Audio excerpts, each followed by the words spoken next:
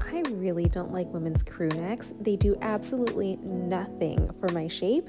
I can do better. Everything that I design has to have a little bit of something special. So for my crew neck, instead of giving you a straight and narrow shape, I'm opening up the chest and angling in to give you that hourglass illusion. I cannot with this department store arm. Give me romance, give me blousiness, give me a dropped shoulder in a super soft, super thick cloud fabric. Oh, and because I'm me and this is Pop Flex, you better bet I snuck in a secret pocket in the side seam you guys, this is the Cloud Crew Neck Sweater. Now check out how when I put my phone in my pocket and I'm bending down, that my phone doesn't even fall out.